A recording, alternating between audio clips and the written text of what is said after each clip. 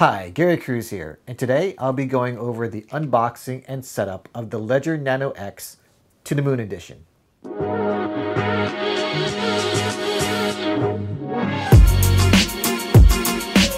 Before we jump into the unboxing, let's first talk about why this To the Moon Edition was created. Ledger as a company is now celebrating five years at Ledger, then and now. So, five years ago, the ledger came to life. They started as an idea of securing digital assets for crypto enthusiasts, and they quickly evolved into the creation of a cutting edge security technology company serving both everyday crypto hodlers and institutional investors. Take a look here. They have four offices now. They've created six wallets. They have 175 employees, 1,182 cryptos supported, over 1.5 million units sold in 165 countries and one app developed. They initially started off as a Chrome app, but now they have a dedicated uh, app on the Mac and PC, and also the iOS and Android devices. So, with that, to celebrate the Ledger's fifth anniversary, they'd like to introduce this Ledger Nano X that was announced today, October 3rd. And this edition deploys the same technology as the Ledger Nano X, but with this sleek aesthetic to commemorate this milestone. And if we take a look at what's new, just take a look at this blog here and it goes over the details. I'll put these links in the description if you're interested, but let's go ahead and get right into it. All right, let's get into the unboxing. This is the outside of the box and it looks very similar to the plain Ledger Nano X. Let's actually pull that out. Here's the Ledger Nano X box. Uh, this box is similar in size. Take a look at the left on the back, on the bottom. All right, let's jump right into it. In terms of features, uh, it's the same as the Ledger Nano X. It just has this special engraving on the front and also this packaging. So let's just open this up. Okay, so far looks similar to the box. This is the original one. Ooh, here we go. Oh, this is kind of weird seeing this in person because it looks like it's in 3D. For this card here, it's it was printed on lenticular paper to give it that 3D effect. Looks pretty cool. Here's the card that is on the top. They've got this astronaut from 2014 to 2019 in the moon. And for those who are new to crypto, going to the moon is basically you're on a rocket ship of writing crypto, hopefully Bitcoin to the moon. And you can see here our mission going to the moon.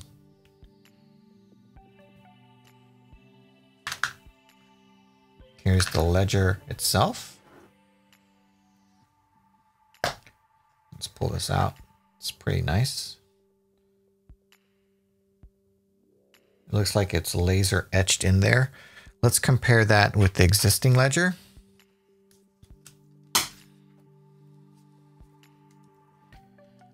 It's the same size, so you just have different engraving on that. It looks like the same laser etching that was used for the ledger logo that they used for this to the moon with the astronaut.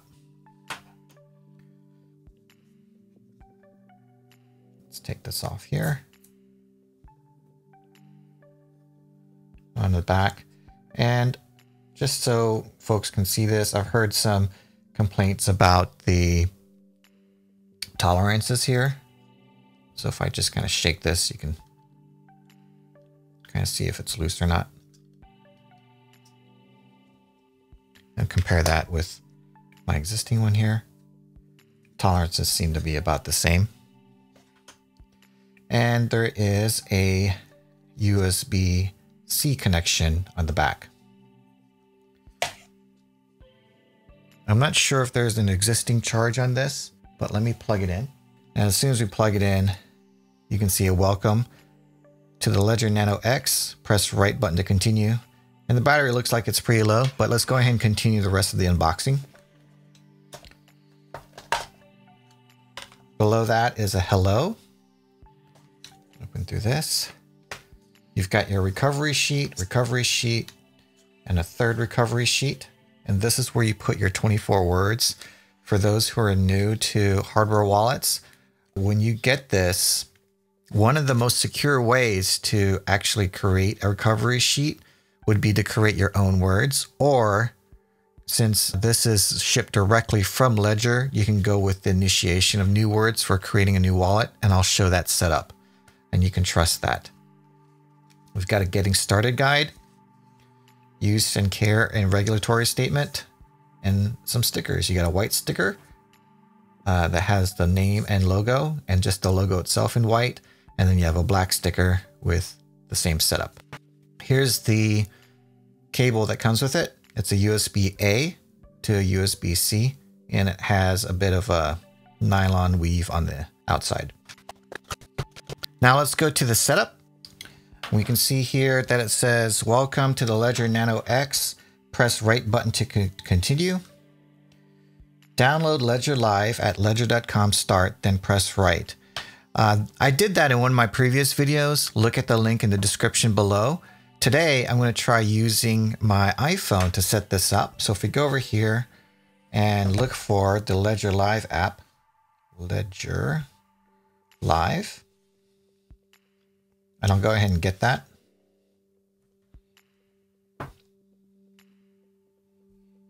Double click to install.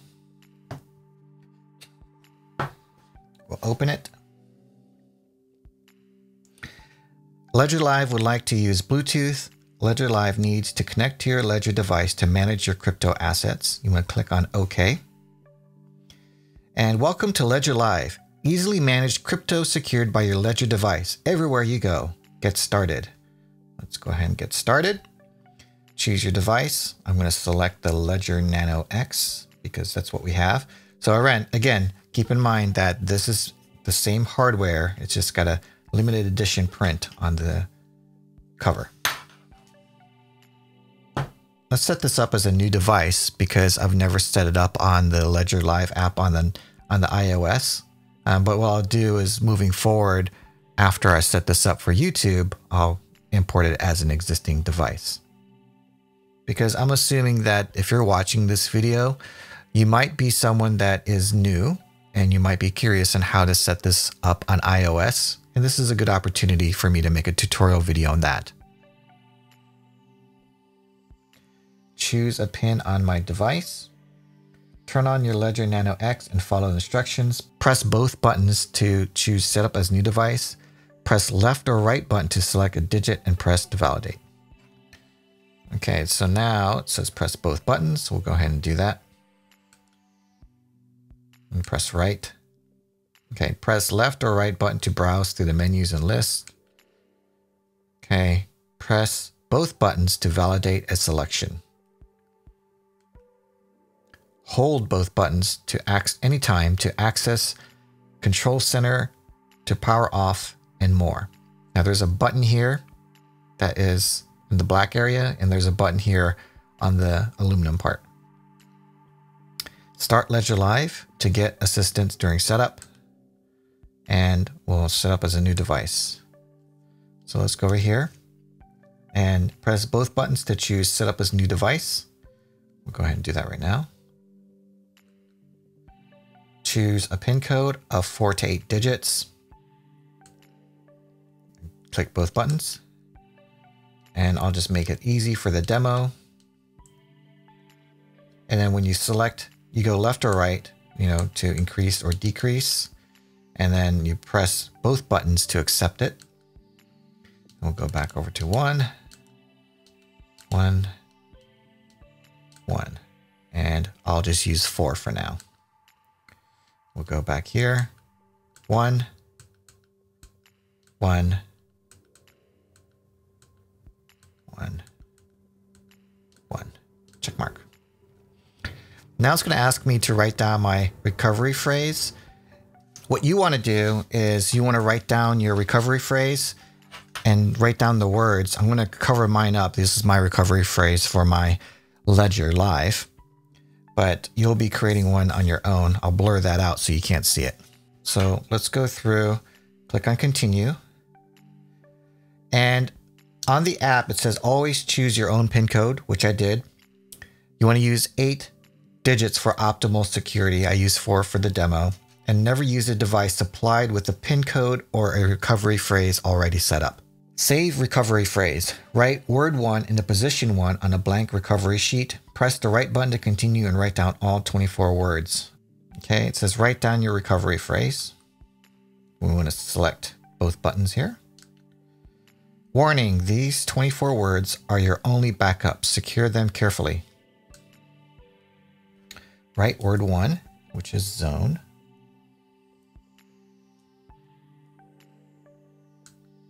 Two is stock. In older versions, they used to they used to have an option for 12 or 24 words. It looks like it's defaulting to 24 words.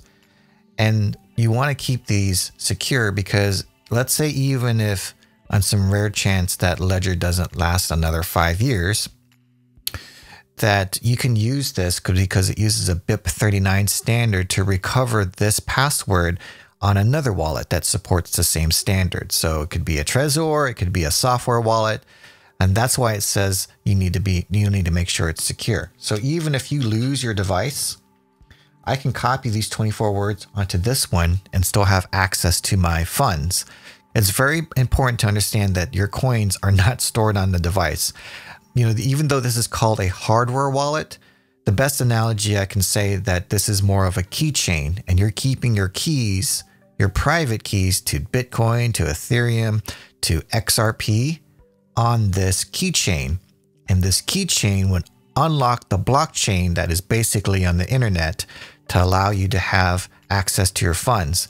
Think of it as like, you know, using your Google password to access your email, but your email is out on the Google Cloud servers, and then you're using your email client to read it.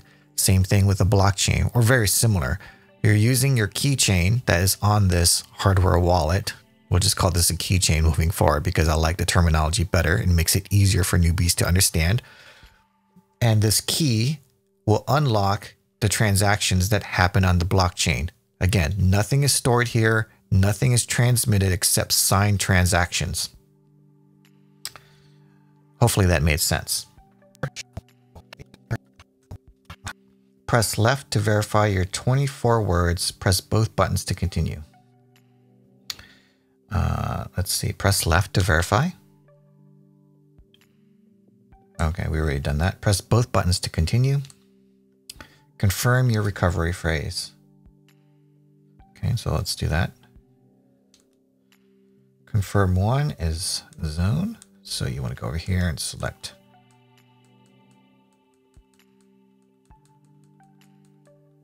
Goes. Two think it's an alphabetical. No. I saw it.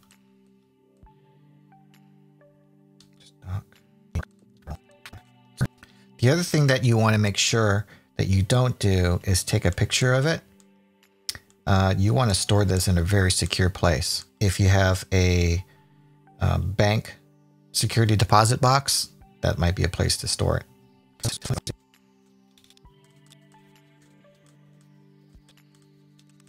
Mm, last one is say it's processing. Your device is ready. So let's continue. Again, it says carefully secure your 24 words and recovery phrase out of sight. Again, this is just all for demo for YouTube, so I'm not worried about it. Make sure you're the sole holder of your recovery phrase. Ledger does not keep any backup of your recovery phrase. Again, you're being your own bank here by securing your crypto on this ledger. Never use a device supplied with a recovery phrase or PIN code. Got it. And it's going to ask me, did I choose my PIN code by myself? Yes. Did you save the recovery phrase by yourself? Yes. Continue. All right, let's go ahead and click on continue here and pair your Ledger Nano X. Let's go ahead and click on Add Ledger Nano X. Please make sure your Ledger Nano X is unlocked with Bluetooth enabled. So let's go ahead and do that. by having the name means it's enabled and it shows up right here. Bluetooth pairing requests. Nano X640 C640 would like to pair with your iPhone. Confirm that the code 211840 is on there. All right, well, where do I do that? Okay, let's click on pair. All right, I don't see a code.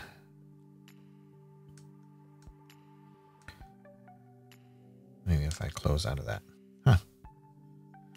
Right, let's go back into the Bluetooth. Retry. Maybe if I enable it. Don't see it now. Okay, so I've got it disabled. I'm going to re-enable it. So now the Nano X C640 shows up.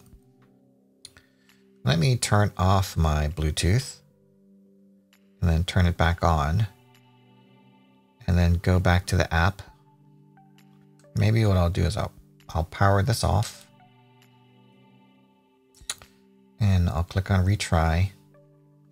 I'll put this pin code in here. One, one, one, one. Go back in the control center. Go to this. There we go. It shows up. It's going okay. It says 640565, 640565. I'll click on pair. And I'll press both buttons to validate. Now it's checking if it's genuine, so please do not do that. Please don't turn off your Nano X and allow Ledger Manager. Want to allow it by pressing both buttons.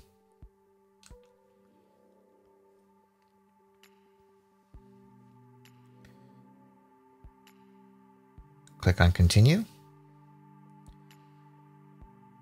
I'll skip the password lock for now. And I'll go and accept the defaults here. Now the device is ready, install some apps on your device and access your portfolio. So click on Open Ledger Live. It's got a little warning here. Read it at your own leisure. Click Got It when after you read it. Then we have to add accounts to your portfolio. Open the manager to install apps on your Ledger device before start adding accounts to your portfolio. So the way this works is you can see that there's no apps on here and I'll go over the install of Bitcoin. So let's go ahead and open up the manager.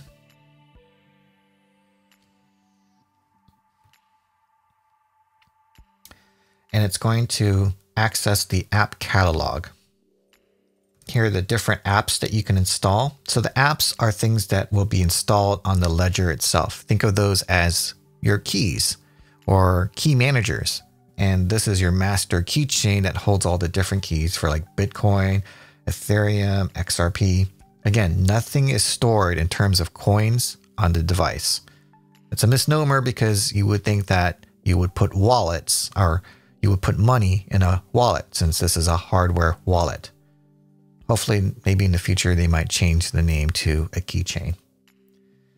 Uh, and I got that from Andreas Antonopoulos, one of his books. And if you haven't read his books uh, about Bitcoin, I highly recommend it. So let's install the Bitcoin one. Please wait while the Bitcoin app is installed. It's processing. This USB cable, USB-C cable is just being is just plugged into a power source. It's not plugged into my iPhone. I think I'll be comfortable after this app installs. I'll unplug it because it has a built-in battery. The process is also very, very similar on the Ledger app. So if you're interested in seeing that, definitely check out the description because I have um, a tutorial on that on the Ledger Nano X. Okay, you can see that Bitcoin has been successfully installed on my Ledger Nano X. If I go to accounts, you can see that I've got Bitcoin there. And if I go to open my manager, go over here, and go to my device. Let's see. Okay, now that I have the app installed here, I'm going to add an account onto my Ledger Live. I'll add accounts. And let me just go ahead and add Bitcoin.